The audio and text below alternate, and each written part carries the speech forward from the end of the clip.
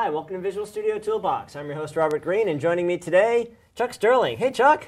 Hey, Robert. Long time no been on the show. It has been a long time.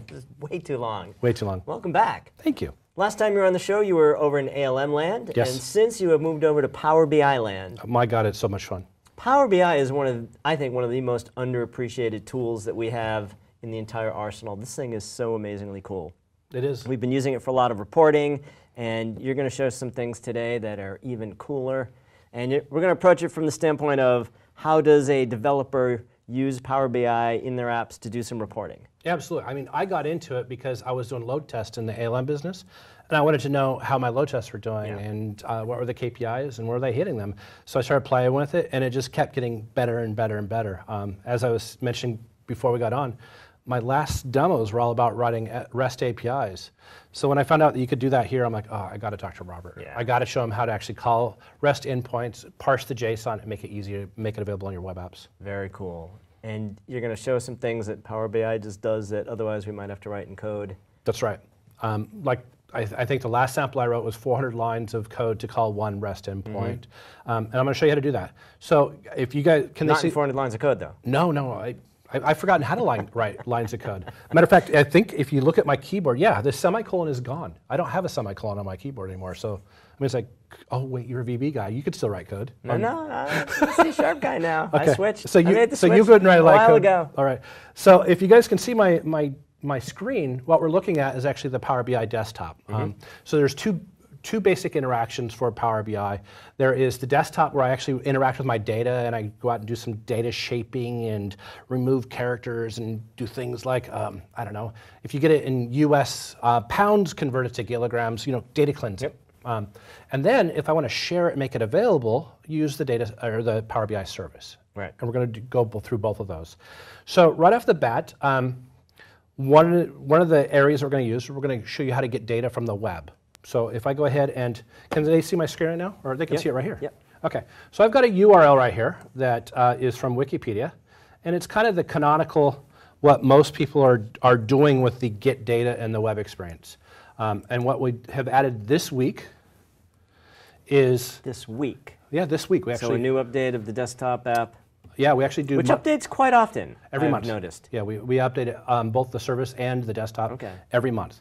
So what we've actually added this month is the ability to do a web view. Um, now, Wikipedia does a really good job of going ahead and giving their table names um, proper names that make sense in many cases. Most websites, you get this sort of experience. Mm-hmm. You know, I think what was it? Table 115 was your favorite. Yeah, Yeah, that was. that. That's a great table. So this week, what we did was we give you this uh, Oh, web view. Oh, look at that. Yeah, um, and I can go out and take a look at it. And what it's done is it's gone through and it's looked at different tables and said, uh, we think you might want data from here, or this is data that we can pull in. And one of the things I was kind of interested in is, you know, presidential elections are coming up. Matter of fact, there's a big party at my house uh, for the MVP summit during presidential elections. There we go. Yeah. Um, so I could load this in and I could use it as is, or what I could do, as I was mentioning, um, what the desktop lets us just do, is go ahead and do some data transformations. So in this case, all of the percentages have come in um, as text because it added the percent sign in that table. Okay. So what I can go ahead and do is So again, ahead. you grabbed a table off a website and brought it into Power BI. That's right. And you can do this with any table on any website as long as it's if they if they use divs and we don't recognize it as a table, we may not um, understand it. But if they're actually using a table, we'll let you have access to it. So some cases it'll be like, why are you not seeing it? Because I see a table. Yeah, it could be a graphic. It could be other things. Okay. So what I'm going to do is go ahead and remove. Oh, I did it exactly. No, I did it exactly right. I removed the percent sign, so now it can be treated as a text. It's the, from the um, it being right aligned. You actually can see that it's not. So what we need to do, go ahead and do, is say, I want you to change it to a whole number, and that actually should left Okay. align it. So now we can continue doing this all the way through. And what it's done is it's given me the steps of what it's performed. So when we hit refresh, it's going to go through all those steps again. So that way my reports look right at the end. Right. Um, you're talking about the gateway. That's what the gateway does. Okay. So I can go ahead and go back home and choose close and choose apply. At this point, um, I could do things like uh, most recent polling and I don't know, state nationwide and drag it over and it, it knows enough to know about states, and we could dig into it, but that's not really developer stuff. Let's, let's see if we can actually take a look at these REST endpoints. Um, now, the one that I've been really interested in, because I've been doing a lot of user group stuff lately, is Meetup. So that's how I track all the user groups I go to and whatnot. So we're going to go ahead and go back to get data. We're going to go back to the web, just like what we did a second ago. And what most people don't know, I don't even know if it's very well documented other than my blog posts, I'm actually giving the Meetup endpoint with my key. So if you guys might want to zoom that in and, and grab my key, so that way I'll be changing it after this, this video, so that's not going to do you guys much good. Um, Meetup makes it really easy. It doesn't cost anything. You just say, give me a key. Um, and it joins you to their developer Meetup Yep. as well. So that's a RESTful API that you've now called. That's right. So And- it could be a public API, it could be your own. Yeah, because I can actually, built. I- we- I didn't show that, but in the web call, I can actually go out and use basic Windows auth. I can actually go ahead and authenticate. Oh, cool. Yeah. Okay. Um, okay. And at this point, it's going out and saying, hey, I've got some JSON. What do you want to do with this? So I'm going to go ahead and say, I want, oops, to make it into a table. And I'm going to say, you deal with the wheres as you see fit. And at this point, I can go ahead and take a look inside that JSON. That's pretty cool, huh? Yeah. I know this part of my code took up most of that 400 lines, was just getting this list of what I wanted to do with it. Um, I'm not going to preface this. Only now there's a feature uh, recently added in Visual Studio, or at least recently discovered by me, where you could take JSON and create a C sharp class from it. I did not know that. Yeah. Uh, Did you guys do a toolbox on toolbox? I think we showed it once in a toolbox. Okay, Yeah. I'll have to look it up. Um, okay, so what we've done at this point is all of the ones at the parent um, root or the parent node Mm-hmm. have expanded out. So I love this one, FNG a monthly meeting. monthly meeting, Uh, yep. uh, it looks like it actually was an Oslo meeting that somebody messed up. Um, and if we scroll across, you'll see that some of these are actually columns inside of that JSON Right. parent. Mm-hmm. So there's a child members, and once again, it's asking, hey, do you want to expand these all out? Um, I am no expert of the JSON for Meetup, so I just expand everything and then delete them as I don't see as I see fit. And then what it does is it just kind of replays that. Yeah, it might be bringing across more data than I need, but probably not. Um, at this point, I'm going ahead and saying using original name as column, the one I unselect before, because I know it uses ID and name a couple different places. Right. So I'm going to have things that are called, I think it's venue.name, venue.id. Okay. And at this point, um, I think there's actually a group one. Yeah, there we go. I'm going to do the exact same thing with group.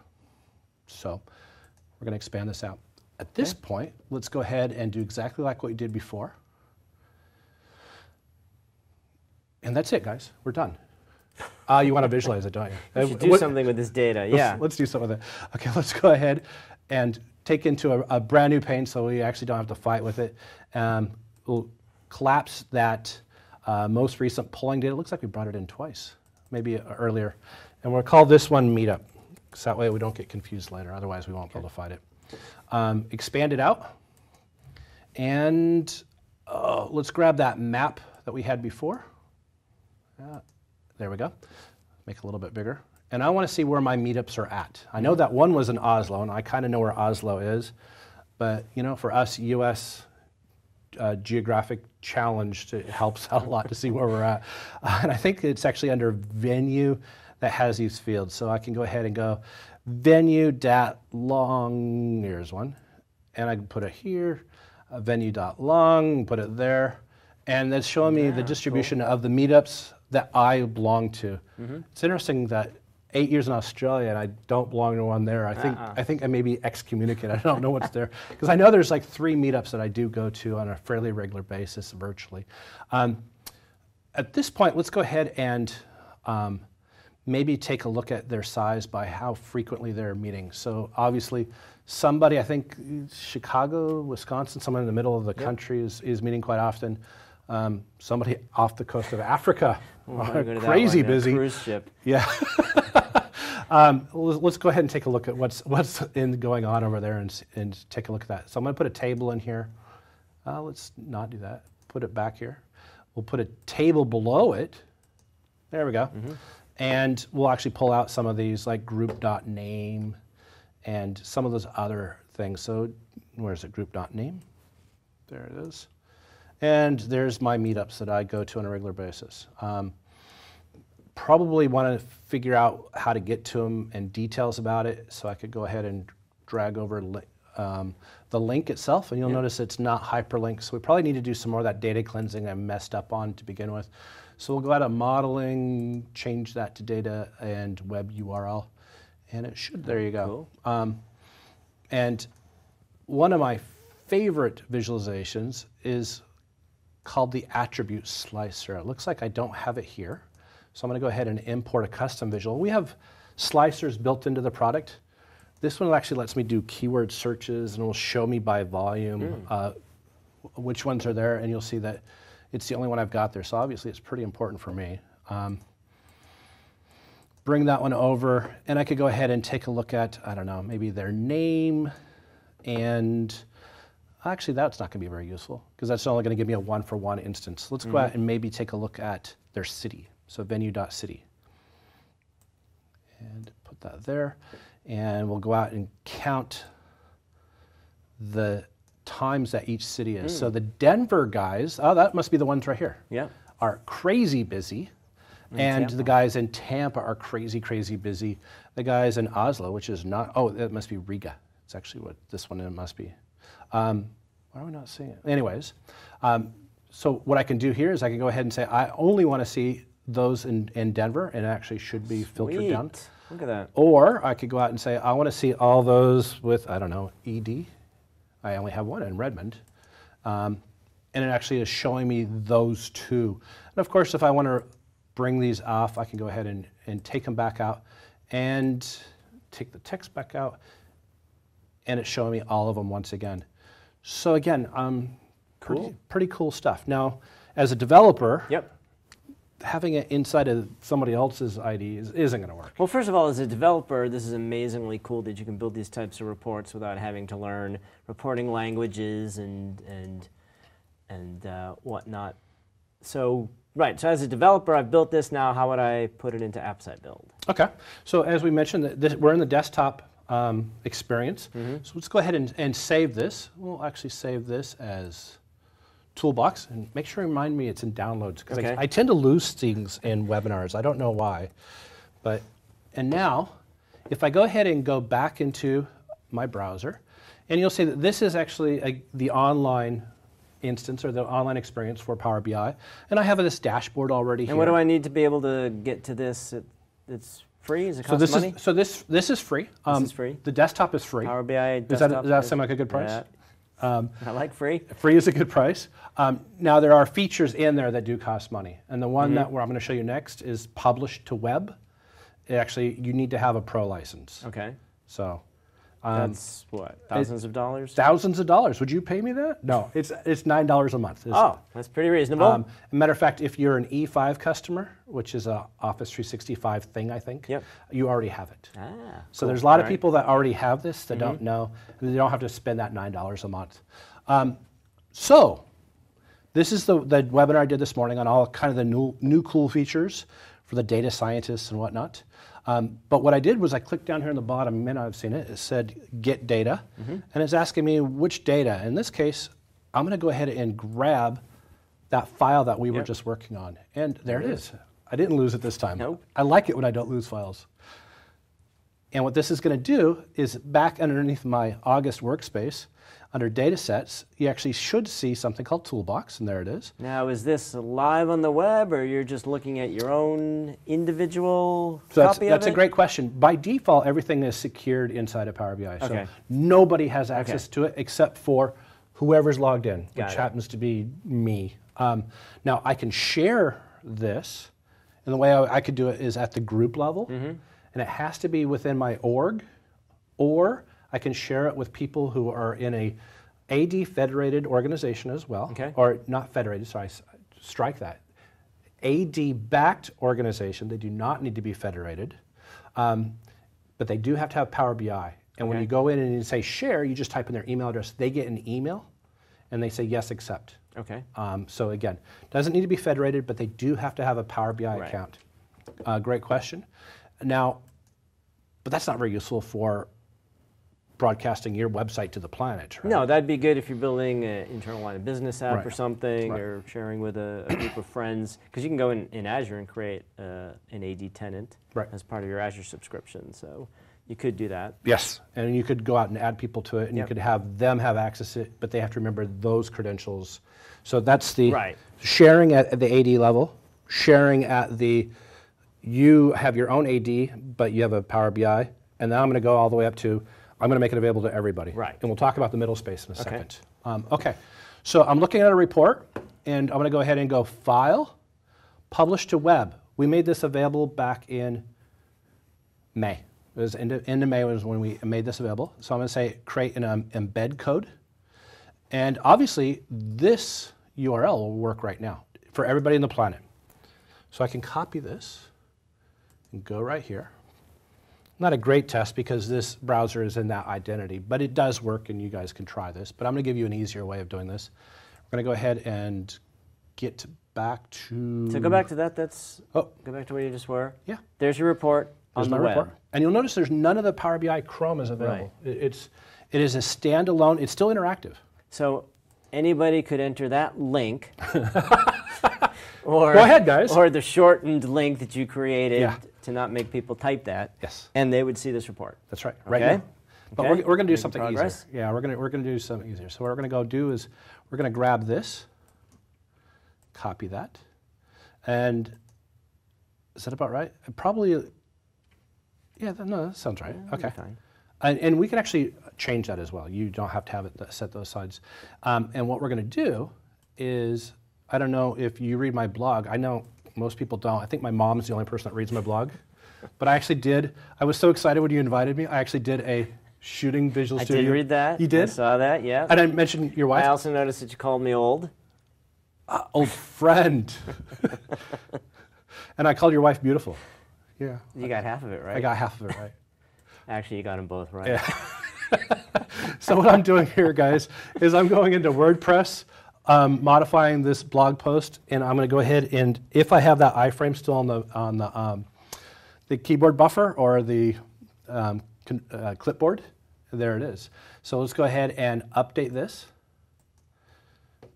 and what we should see is this as part of my blog which of course can be made available to any web app. Any web app. So if you're building any web app uh, as a developer, then you, you just use that iframe and stick that report in. That's there. right.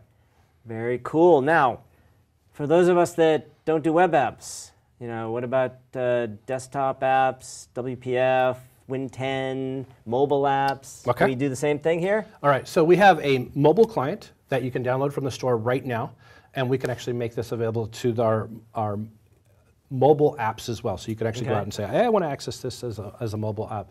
Um, the team who does embedded, we'll need to talk about um, Power BI embedded, is actually working on a WP, a W- UWP client. So you can actually go out and do a native client. So that would be a control that you can put into Um, That's your what the plan is right now, and, Okay. and I know they're working, on, it. Yeah. Okay. Um, but let's talk about what Power BI embedded is Mm-hmm. versus sharing a workspace or a dashboard versus a publish to web. Okay. So if you remember, publish to web, this is available to everybody. This should scare some people, the security people, Hmm. that they can go in, right click, and say publish to web. Right. Now, if, if it makes you feel any better, um, it is actually a setting that, let's go back into a browser. Ah, that's not a browser, Chuck. Go into the, um, the Power BI service and go into admin portal. And the very first tenant setting, I think what you've got, is allow sharing to external users and publish to web. Okay. So you can turn those off and on. I've turned them on for this demo. Right. Um, and what you can also do between sharing to Active Directory back people that you spe- specifically trusted and the world is you could use Power BI Embedded, which actually lets you go ahead and create groups and resource groups in Azure and actually go out and trust other people with distinct links using, um, they're actually using API keys to do that. Say that using this API key, you can have access. Okay. So you have the world, AD back people I know, and in the middle with embedded. And embedded actually is the one that we're doing with the, with the, the UWP client that we're building on. So this is kind of what I wanted to show you. I This thought it was cool. pretty cool. Yeah, this is very cool.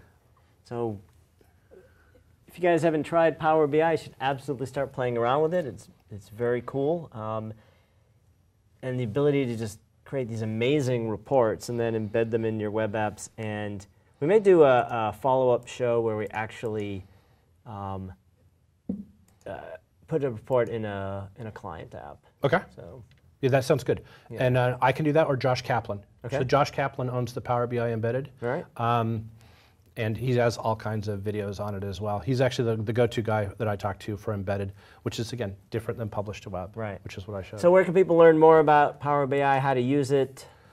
PowerBI.com without a doubt. Okay. Yeah, uh, we we do two webinars a week, and I actually drag the team out and say, "Hey, this is the feature I worked on." Cool. Um, yeah, right. and this morning it was actually me going out and talking about the August update. Um, next Tuesday is Lukash who's talking about how we did the uh, the Real Soledad reports, Mm-hmm. and he did all that work. He actually talked about how we did the King Five presidential um, storyboards, and that's all done with with publish to web. All of those things, um, and he talks about some of the design patterns that I clearly am showing that I am not a designer. Um, Yeah. The other thing that would be really cool to come back to is that new cottage industry around sentiment tracking or, or brand analysis. I know we at Microsoft spend a lot of money to actually take a look at what you feel about us. Right. And we spend it on software vendors. And it's actually not that hard to call the Twitter API, put that data into a SQL data warehouse, and actually get reports like this. Um, so I think if I can talk you into scheduling me to come back and talk Always. about Sure. putting it into a native app and a different session on doing brand analysis or sentiment analysis. Um, and you could go out and see like my inbound tweets. This is how many people care about me. Huh. outbound tweets, I'm a little bit more verbose. Mm-hmm. And of course, what you're what you're interested in is who's talking about you, and of course their sentiment. So this is actually all done with Azure Machine Learning, Nice. um, and this is actually a, a free template that we make available for download. cool. Very cool. We'll do an episode where you come back and you'll show us, and we'll track this show. and We'll see how we do. That'd be great. Because that might go in the category of never ask questions you don't want to hear the answer to, but we'll see. we'll see. All right, hope you had fun with that, and we'll see you next time on Visual Studio Toolbox.